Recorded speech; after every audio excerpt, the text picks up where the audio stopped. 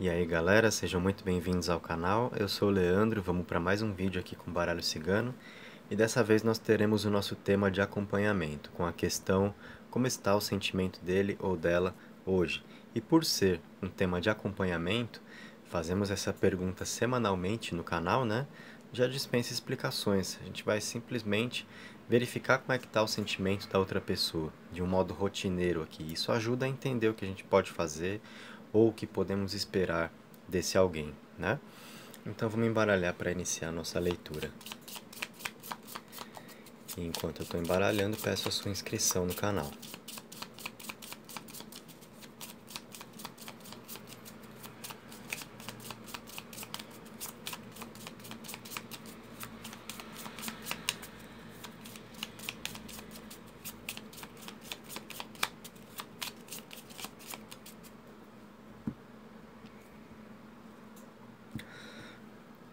Pronto, colocando aqui as nossas cartas, três na esquerda, três na direita e temos só duas pedras aqui na tela e são exatamente as que vamos colocar nas cartas, a raulita azul e o olho de tigre. E agora você vai escolher para ganhar a sua resposta, como está o sentimento dele ou dela hoje.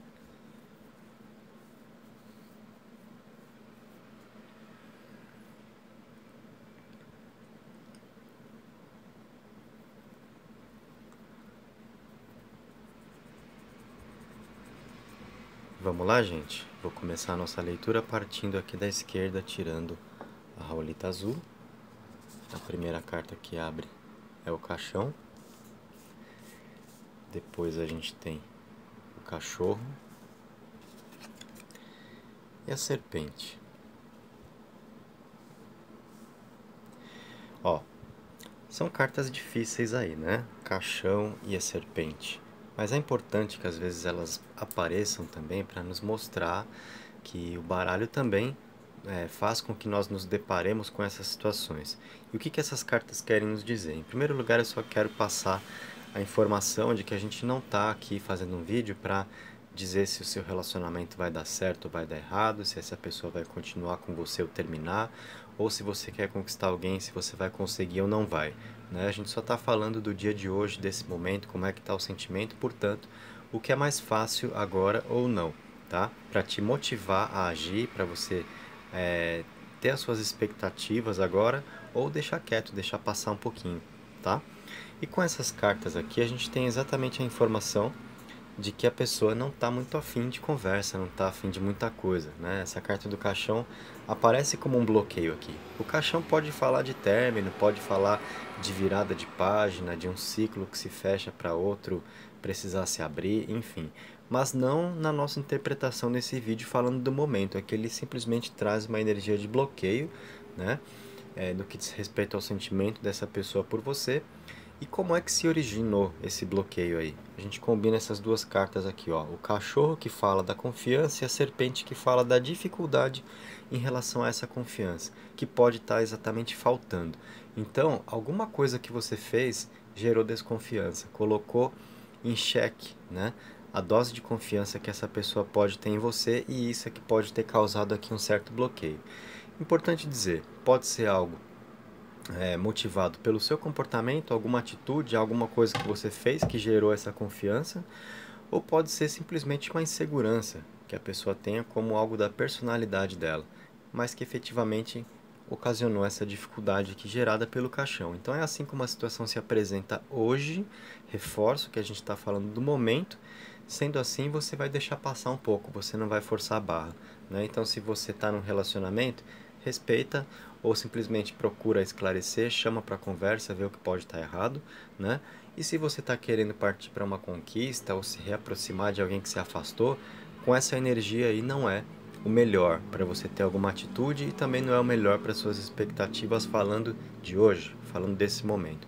Então, para você, né, que vive esse tipo de situação de querer buscar uma companhia, de estar tá pensando em alguém em especial, não é o seu melhor momento né? Deixa passar, deixa mudar essa energia para você é, ter uma atitude ou para você manter as suas expectativas aí e ter um novo cenário. Né? Como eu falo, semanalmente a gente faz esse vídeo, o sentimento vai se apresentando de formas diferentes, vai dependendo do que acontece, então a gente tem a oportunidade realmente de acompanhar.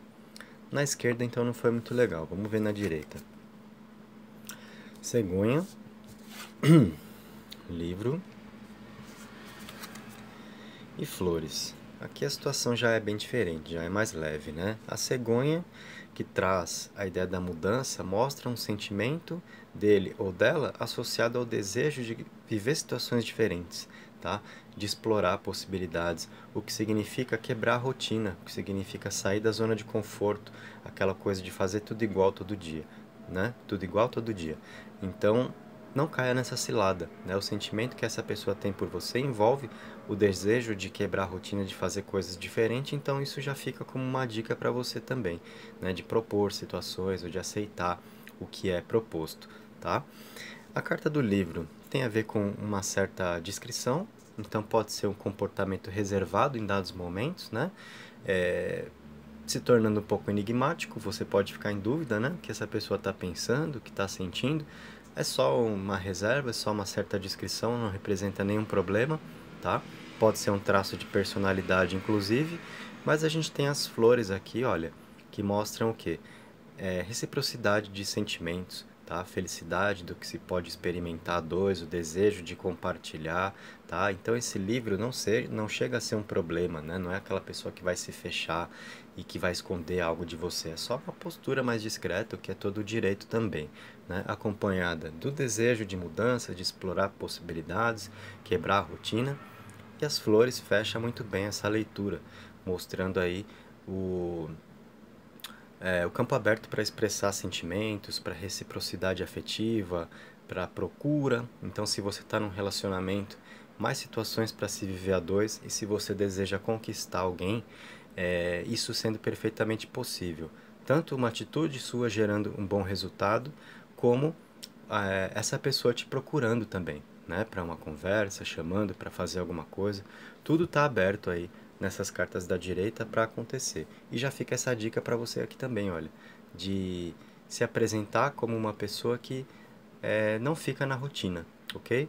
Para aumentar o seu poder de conquista, para você se favorecer no campo afetivo, certo? Então, essa foi a nossa leitura, gente. Tivemos uma situação mais complicada aqui na esquerda, conforme interpretei, expliquei para vocês, mas é importante também, né, quando isso aparece, para nos ajudar a entender a situação, nos prevenir de problemas. Então, o baralho sempre nos ajuda, eu falo isso. Aparece a situação, é para a gente entender, para a gente procurar os motivos e se precaver de problemas, tá? Então, espero que as orientações aí tenham sido úteis a respeito de como está o sentimento, do nosso acompanhamento.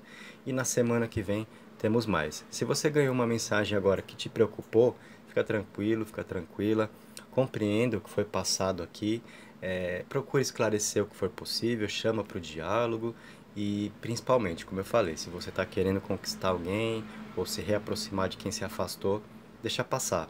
Já que nosso acompanhamento é semanal, vamos ver o que aparece para você daqui a uma semana. Pode ser completamente diferente a situação, para melhor, tá bom? Então, gente, muito obrigado pela presença. Reforço o pedido para inscrição no canal e convido lá para o Instagram, Lunação Esoterismo. Um abraço e até o próximo vídeo.